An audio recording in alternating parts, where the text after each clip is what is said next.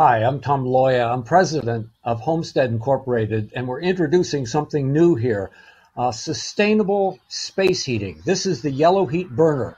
This is like a conventional oil burner. If you have a furnace or a boiler, this is what you have an oil burner. Yellow heat is a substitute for the existing burner in your appliance, probably in the basement. And yellow heat is like a conventional burner, but it can handle any kind of oil that you can obtain. It's just as efficient on regular heating oil as a conventional burner, but it'll handle waste motor oil or it'll handle waste vegetable oil, which is the way we promote it. No preheating, no pre-cleaning required. If you can find that less expensive oil, just add it to the system, put it in through the input system here, and you'll get clean, safe, and cheap space heating.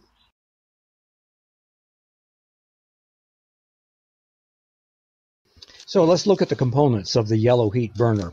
Uh, it has a input system consisting of a stainless steel 60 mesh screen through a funnel directly into the fuel tank.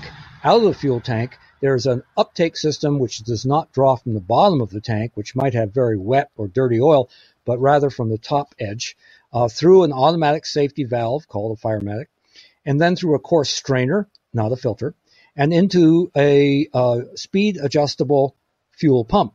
That delivers the fuel through a 100 watt uh, heat exchanger, and from there it goes directly to the burner head, the Babington ball. Uh, other components on the standard system include a fuel gauge, uh, possible to be hooked up through the internet to an app on your phone, uh, and an air input system. You understand uh, this uses compressed air like most waste oil burners. Uh, we offer it with a very quiet uh, compressor, a California compressor, uh, you may already have a compressor that you want to use instead.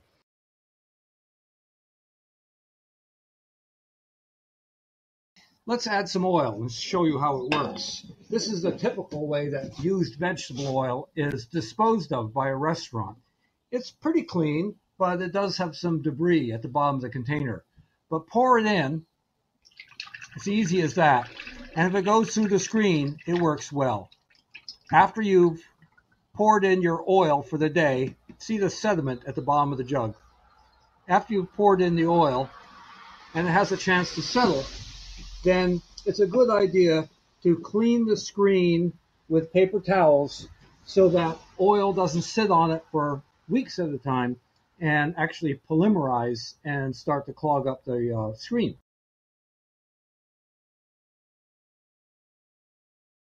So let's look at maintenance.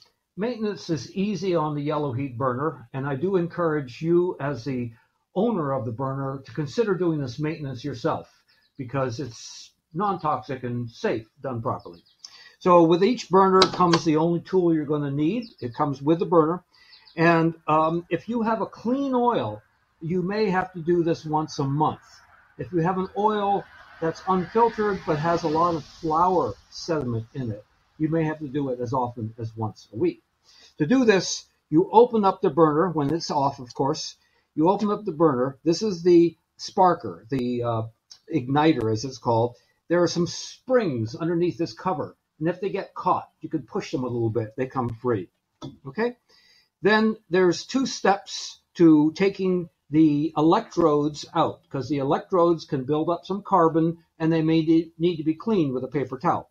Two steps to taking them out. The first step is to unscrew the pressure fitting like this. Just a couple turns will do it. There we go. And that will come off and that's where the compressed air goes into the yellow heat burner. So that comes off with your fingers like that. There's a compressed air line. Second step is there's a knurled ring. This comes off with just finger pressure. It's no tighter than that. And uh, a few turns to take that off. And then the whole electrode and the burner head, the patented Babington ball burner head, they come out. And I'll show you that. So that comes off like that. And then the drawer, as it's called, wiggles out like this. There's the drawer. This is the patented Babington Ball burner head, uncloggable burner head. Compressed air comes into the pipe, and go exits from a very small hole. And the oil is a film that's dribbling across the surface of this ball. And when it gets near that jet, it's atomized into a very fine mist. And these white parts are the electrodes. There's a spark, 14,000 volt spark between them, and that ignites the spray or the mist of vegetable oil. To clean the electrodes, take the drawer and undo the one screw, a turn or two, that loosens up the electrodes, okay? Then you just, all you do is take a paper towel and you clean off any black. Take it down to the, the white ceramic of the insulator and the standard metal. And then put it back together.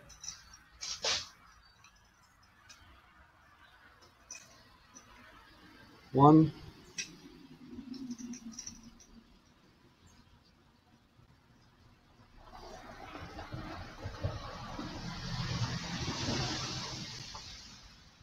The uh, electrodes should be grasped so that the they're out in front of the Babington ball, but not at the very end because there's a lot of electricity there.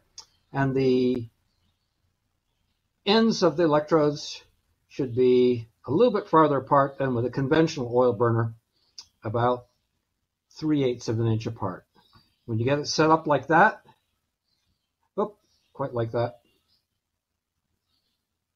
then you can tighten the clamp. Okay, that goes back into the burner.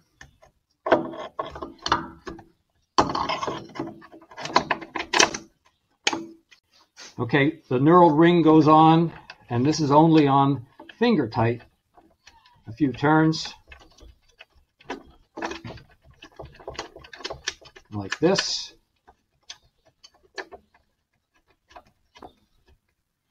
finger tight. And then the compressed air line goes on.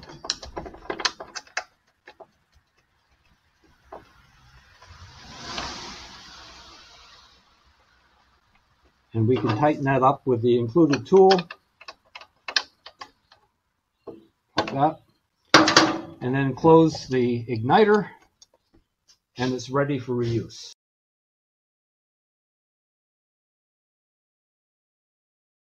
So the yellow heat burner can be made to work in many furnaces and boilers. However, it needs to be installed and maintained by a competent person. In our state, we have to have a license to install the yellow heat burner. Um, it needs a proper chimney, it needs a safe appliance, and it needs good maintenance. So if you have questions about the yellow heat burner, uh, call us, write us, email us, and we can tell you uh, what the rules are and what would be appropriate. Yellow heat, cleaner, safer, and cheaper. Thank you.